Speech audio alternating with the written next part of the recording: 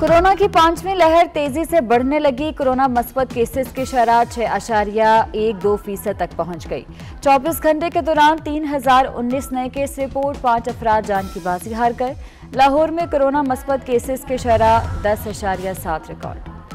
मुल्क में कोरोना की बिगड़ती सूरत हाल पर आज होने वाली बैन सूबाई वजरा तालीम कॉन्फ्रेंस मुलतवी इजलास अब आइंदा हफ़्ते होगा। हतमी तारीख का ऐलान बाद में किया जाएगा। खबर पख्तूनख्वा के मैदानी इलाकों में सर्दियों की छुट्टियाँ खत्म, स्कूल खुल गए।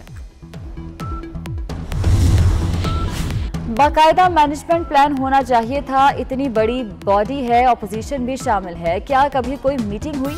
क्या एनडीएमएमए की भी इस हवाले से कोई मीटिंग हुई? Chief justice, Islamabad high court के सानिया मरी के जिम्मेदारों के खिलाफ कार्रवाई के लिए दायर दरख्वास्त में रिमार्क्स। अदालत ने एनडीएमए हुकाम को आज ही तलब कर लिया।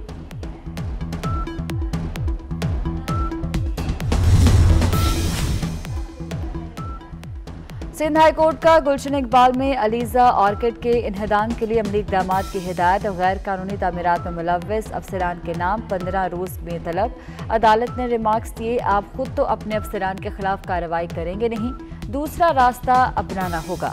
अफसरान अपने कमरों में बैठे लेटर लेटर खेलते रहते हैं। यहाँ अफसरान की मिली भगत से गैर कानूनी तमीरत की भरमार है।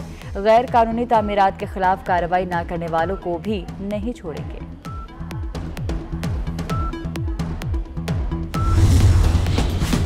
और पंजाब के मैदानी इलाकों में धुंध का राज हद निगाह कम होने से ट्रैफ़िक की रवानी मुतासर मोटरवे एम टू लाहौर से कोट मोमिन एम थ्री फैजपुर लाहौर से दरखाना तक बंद।